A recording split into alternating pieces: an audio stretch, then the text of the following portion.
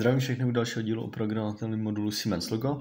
V tomto díle se podíváme na to, jak propojit dva nebo více modulů Siemens Logo dohromady. Eh, je to docela použitelná funkce u nějaké třeba domovní instalace nebo elektroinstalace, kde můžete pomocí jednoho loga ovládat třeba druhý logo někde na chodbách nebo něco podobného, nebo v rámci nějaké budovy, eh, nebo v nějakých, dejme tomu třeba skleníkách, kde jeden modul ovládá nějaký čerpadla, další modul může třeba ovládat nějaký osvětlení a pak tady bych měl třeba třetí modul, který by to buď to celý řídil, eh, nebo by v sobě měl nějaký webový rozhraní, na který by se dalo připojit.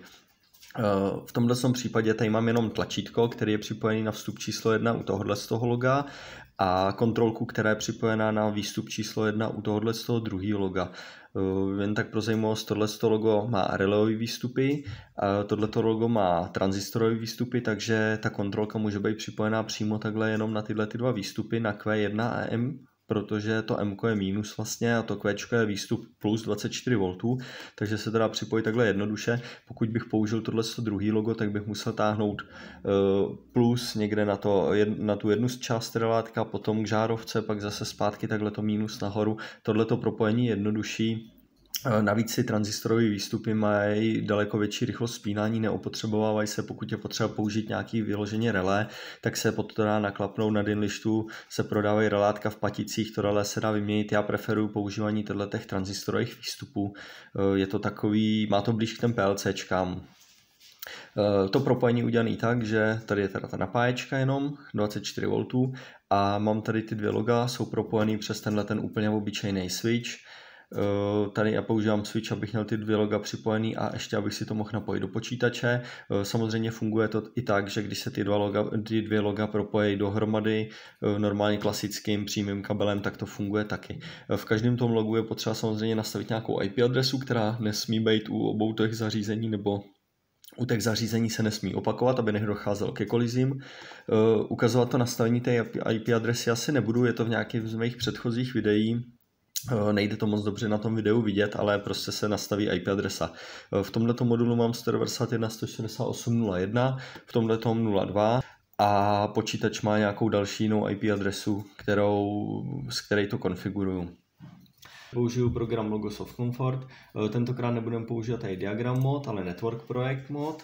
Eh, takže se překlapnu na tuhle tu záložku a zobrazí se mi takováhle plocha. Tady nahoře mám vlastně tu síťovou, jak je ta síť propojená, tu síťovou část Network View a tady je diagram editor. Ten je zatím prázdný, protože nemám přidaný žádný projekt nebo nemám přidaný žádný zařízení, takže to tady přidám tlačítkem Add New Device a přidám si ty dvě loga.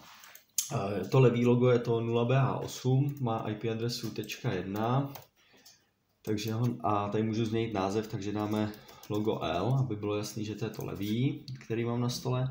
A pak si přidám další zařízení, to je to 8FS4 a tady dáme logo P a tam je ta IP adresa, tady je tečka 2.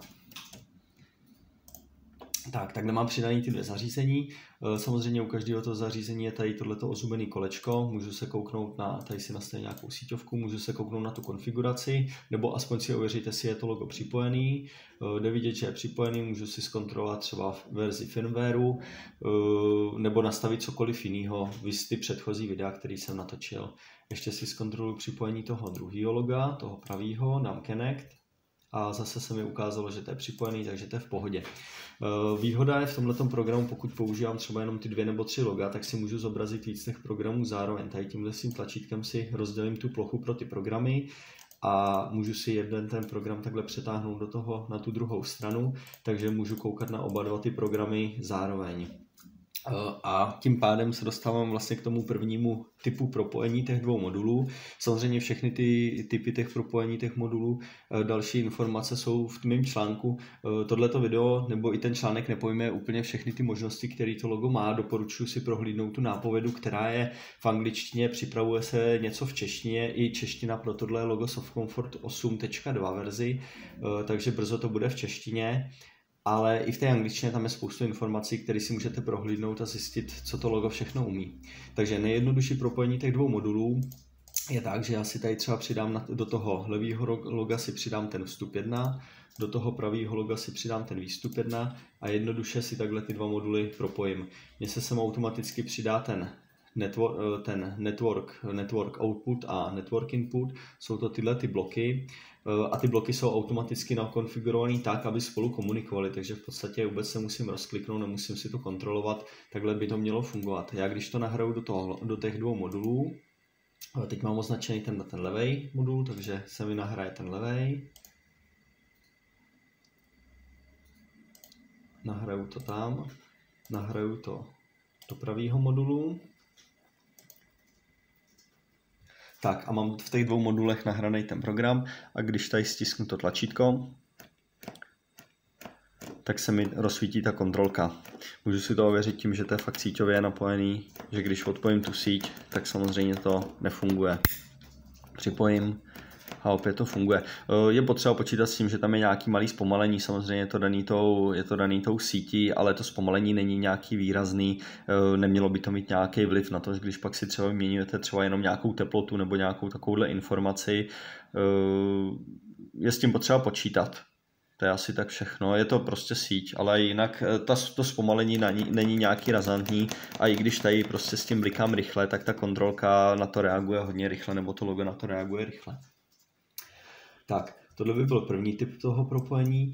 Pak je druhý typ propojení nebo druhá možnost propojení. Já si sem zase vložím nějaký vstup, tady si vložím nějaký výstup a tady si můžu vložit do těch programů network output. Ten output stahuje se to k tomu, že je to jakoby výstup do sítě, takže ten, má, ten network output má vstup, ale má síťový výstup a sem si dám network input, ten zase má síťový vstup a má tady digitální výstup a ty dva bloky si takhle propojím a zase jsou propojený. Když si je takhle rozkliknu, tak zase vidím, že ta konfigurace je v podstatě stejná jako v tom předchozím příkladě, akorát jsem si to tady musel znovu natahat. Eh, funguje to, když bych tady dal třeba nějaký, nějaký takovýhle bloky, tak se mi taky propojují, není to jenom u těch vstupů, výstupů, ale vlastně celkově ten program se dá takhle jednoduše propojovat propojovat uh, s téma v rámci, v rámci těch dvou programů si můžu dělat tyhle ty propojky libovolně v podstatě. Uh, další, další tou možností je samostatný nastavení těch network, těch network vstupů a výstupů, takže já když si sem zase přidám network input, tady si dám network output a můžu si do toho nastavit podstatě nějaký libovolný ten, nějakou, buď to můžu tady použít, že to zapisuje do paměti, anebo že to do vzdáleného zařízení zapisuje. Takže zase, jak v předchozím příkladě tam bylo nějaká ta paměť toho loga, tak tohle dokáže zapisovat nějaký bit do té paměti, jak to bylo třeba v tom díle o, o tom webovém rozhraní. A nebo tady můžu na nějaký vzdálený zařízení, mně se tady zobrazuje třeba to logo P, a můžu si nastavit, jaký, jaký výstup to ovládá. Takže já si tady můžu dát třeba Q1, že mi to ovládá přímo výstup. Přímo výstup 1. Z tohohle toho loga můžu úplně odstranit ten program. Opět to do těch modulů nahraju.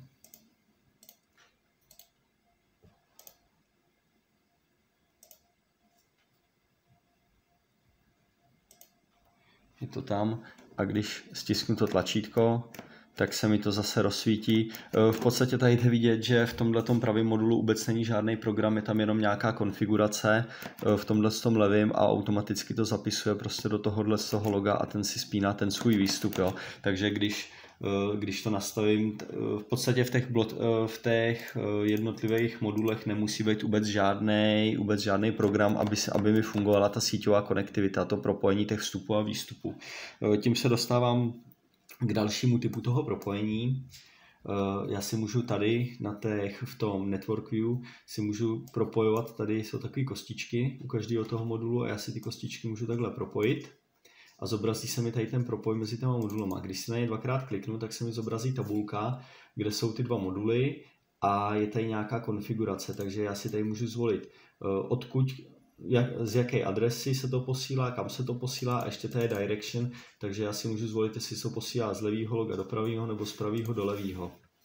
Takže já si tady zase můžu dát IB, nastavíme, nastavíme si nějaký vstupní byte, nastavíme si směr pohybu, tady si nastavím QB, což je výstup, zase QB 0, aby mi to ovládalo ten první výstup, tady si můžu nastavit, tady je takový to taková ta konfigurace, nastavíme to do jedničky, ten druhý řádek můžeme odstranit, dám OK a můžu zase ty, ty programy nahrát do toho loga nebo do těch dvou modulů.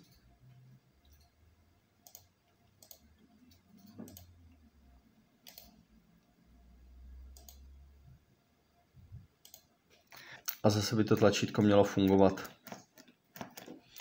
Když si rozkliknu tu konfiguraci, tak vidím, že tady IB 0.1 se zapisuje do QB 0.1, což jsou ty vstupní a výstupní, vstupní a výstupní porty těch modulů. Samozřejmě, že tady se těch propojů dá jednak přidat víc, i do té tabulky se toho dá uh, zapsat víc. Uh, jsou tady, uh, tohle je ta paměť, tohle jsou nějaký ty markery, výstupy, vstupy, Eh, dá se tím různě zapisovat i do těch pamětí, tím pádem se dá zapisovat přímo do různých těch bloků. Eh, říkáme to podobný, jak v tom předchozím díle s tím webovým rozhraním. Eh, já teda odstraním teď ještě, odstraním tady ty propoje, který jsem vytvořil a ukážeme si program, který dokáže rozsvěcet tu kontrolku, ale zároveň dokáže detekovat výpadek té síťové konektivity. Protože já můžu udělat úplně nejjednodušší program tak, že si tady dám ten propoj, ale já když zase to nahraju do těch modulů, tak, teď, ten program, teď ty programy mám v, tom, v těch modulech, modulech, takže já když to stisknu, tak se mi ta kontrolka rozsvítí, ale když to odpojím, tak, eh, tak samozřejmě to nefunguje, to propojení, ale já zároveň nevím, že třeba to, nebo to logo neví, eh, že došlo k nějakému odpojení té sítě. Jo, takže ono může prostě začít hlásit nějaký blbosti, nějaký nepravdivý údaje jenom tím, že třeba tomu chybí nějaký vstup nebo nějak začne, uh, přestane fungovat. Je dobrý, aspoň aby to logo vědělo, že prostě je nějaký problém s té sítí, s tou sítí a dokázalo se na to nějak jakoby připravit. Takže je možný uh, tady v tom programu vložit si network input. Já si tady dělám takový programek,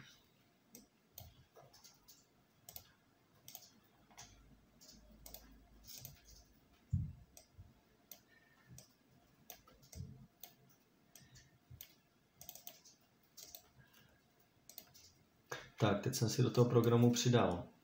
Nechal jsem tady ten vstup, který mi komunikuje s tím druhým modulem a pak tady mám druhý network, eh, network input, který si ještě nastavím a pokud je ten network input aktivní, tak mi to tady začne vytvářet nějakou frekvenci, která mi začne blikat s tím výstupem.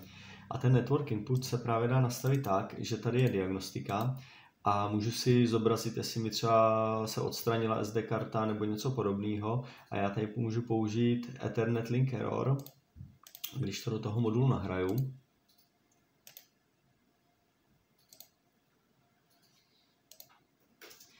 tak mi funguje detekce výpadku sítě. Mě to komunikuje, ale když to tady odpojím, tak mi to začne hlásit chybu tím, že se mi rozbliká ta kontrolka. Jakmile to znovu připojím, tak to přestalo blikat a já to můžu dál ovládat.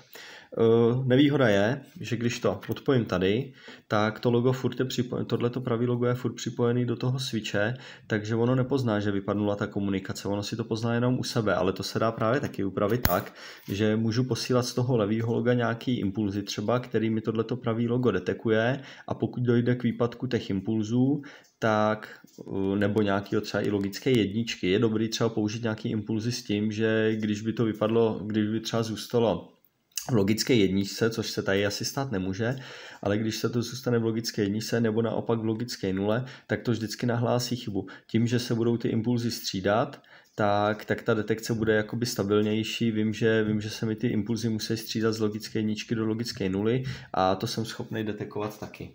Takže já si tady vytvořím uh, network output. Tohle to si tady můžu nechat. Takže já si tady v tomto programu, v tomto programu si vytvořím network output. Před něj si dám generátor, který mi bude vytvářet nějakou frekvenci a tady logickou jedničku. Tady si nastavím třeba zase nějakých 20 milisekund nebo 200 milisekund. A tady si vložím network input, který mi bude který bude propojený s tímhle s tím a na tomhle tom network inputu mi tím pádem budou teda nějaký impulzy. Já si budu muset akorát hlídat frekvenci, takže já si tady přidám tohle tenhle ten modul a pokud třeba, nevím, dejme tomu za 3, frekven, za 3 sekundy ta frekvence bude moc nízká, takže, tak mi to sepne ten výstup. Já si teda nastavím tady hodnotu vypínání na 4 a zapínání třeba na 0. Uvidíme, jak to bude fungovat v onlineu, dá se na to připojit a dá se zkontrolovat to číslo, kolik to bude ukázat, eventuálně se dá to číslo třeba upravit. Tady si dám ještě OR, aby mi to aby mi tam fungovaly oba dva ty síťové výstupy a nahraju opět ty dva moduly.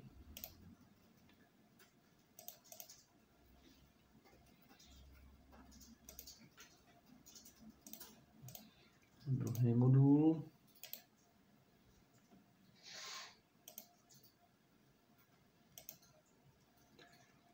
Tak a tady se můžu přepnout do onlineu a vidím, že tady mám číslo 8.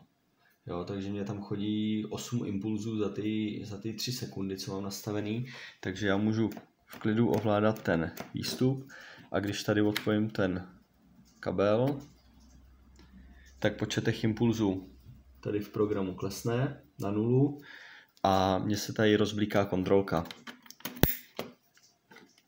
Samozřejmě je potřeba počkat na to, když eh, tam mám nastavený nějaký delší čas, tak než se jakoby zpamatuje to, zpamatuje to rozhraní nebo než to přestane detekovat tu chybu, tak to chvilku trvá, ale to už je jen takový detail. Dá se to vyladit tak, aby to bylo daleko rychlejší. Připojím, zase počkám chviličku, než si to načte, že to, že to je propojený, než se ty impulzy tam načítají a zase mi to funguje. Takže takhle jednoduše se dá detekovat uh, výpadek té sítě. Je to vlastně tím, že ty moduly si mezi sebou vyměňují nějaký impulzy. Stejně to můžu dělat, že tenhle ten modul bude posílat do tohohle modulu nějaké impulzy a tenhle ten zase bude detekovat nějaký ten výpadek uh, té konektivity síťové. Takže takhle jednoduše se to dá propojit. Říkám, asi nejjednodušší varianta je propojovat přímo ty moduly mezi sebou, ten vstup, natáhnout třeba na ten výstup tím signálem, jak jsem to tady ukazoval v tom programu. Prostě se propojí ty dva, ty dva, výs, eh, ty dva bloky, můžu si tady třeba z toho, hm, tady mám třeba nějaký blok, nějaký ospoždění, tady si dám nějaký výstup, jenom si to takhle jednoduše propojím, propoje hotovej není s tím žádný problém, můžu si zapisovat do těch, uh, buď to přímo do toho loga, do nějakých tady vstupních, výstupních markerů, nebo přímo do té paměti, anebo do nějaké svojí paměti si může přímo zapisovat ten modul, takže se dají upravovat pomocí těch network funkcí nebo network modulů i nějaký ty vlastnosti přímo toho bloku, nemusím používat, nebo eh, je to vlastně doplnění tohohle toho network mappingu, kde si spojuju tyhle ty kde si do té paměti vlastně vkládám nějaký tyhle ty hodnoty těch jednotlivých bloků. Eh, doufám, že jste aspoň si něco odnesli trošku z toho videa. Eh, koukněte se na tu moji stránku, tam to je popsaný nějak polopaticky, jsem se to snažil dát dokupy. Eh, o těch jednotlivých typech těch propojení jsou tam nějaké informace. Samozřejmě ta nápověda toho, toho Logosoft Comfortu je docela obsáhlá, takže tam se dá hromadu těch věcí vyčíst. A příště se tam točím další video, pokud se vám tohleto video líbilo, koukněte se na moji stránku, Uh, můžete dát k tomuhle tomu videu like, můžete odebírat můj kanál, hoďte si tam ten zvoneček, koukněte se na můj Instagram, pokud chcete, můžete mě podpořit na mým Patreonu, uh, koukněte se do podpisku pod video, uh, jsou tam nějaké další informace a já se na vás těším u dalšího videa, tak se mějte a čus.